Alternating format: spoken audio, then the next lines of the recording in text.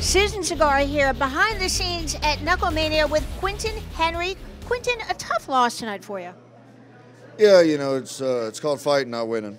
It's just part of it. Did the, you stick to your game plan, do you think? Or, I mean, it seems a little uh, odd because there was something going on with a knuckle in the eye. I'm not quite sure myself.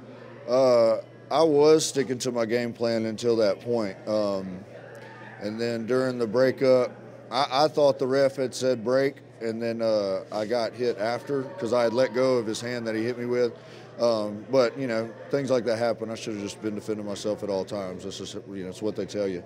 Um, and then after that, I I couldn't really see out of the bottom left, and um, they told me you could either quit and lose, or or well, the way I saw it in my head was you could quit and lose, or you could fight with one eye and see what happens. And um, and I said, I come here to fight. Let's do this shit. And uh, and after that point, there was no more game plan. It was just.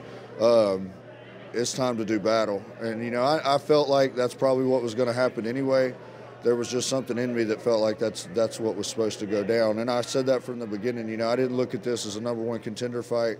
I didn't look at this as a title fight. I looked at this as as two grown ass men going to battle, and uh, that's what we come here to do. We didn't come here to outpoint each other, outbox each other. I know I hit him with some good shots that had him hurt, and uh, he just landed the better one right there at the end. You know, so hats off to him. You know, the dude's a legend and uh, there's a reason that he's he's done that to people, you know. So, like I said before, there ain't no shame by you getting dropped by Chris Leben. You know, uh, uh, at least I earned his respect. That's that's all I plan to do tonight. Props to you for show, showing such tenacity. When you were down, did you realize what was going on? Because oftentimes I think it's just instinct for the fighter to get back up, and you certainly were back up.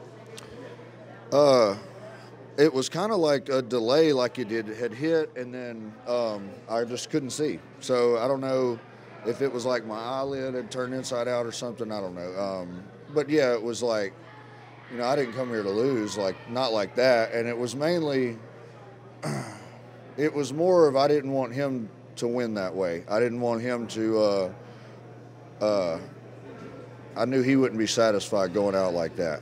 He came to fight, and it was like, all right, motherfucker, let's go now. Um, here we go, and that's what happened, you know. So hats off to him, you know. He got me into his fight, and uh, and we gave it hell, and I think you know the fans loved it. Uh, so that's what I told people before, you know. I don't get paid to win; I get paid to fight. Definitely think the fans loved it. Looking forward to seeing you next time, Quentin the Hero Henry.